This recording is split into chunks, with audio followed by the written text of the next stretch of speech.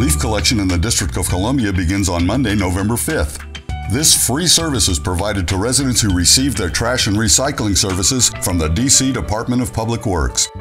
Please rake your leaves out on the Sunday prior to your scheduled collection week. The leaves collected won't end up in the landfill.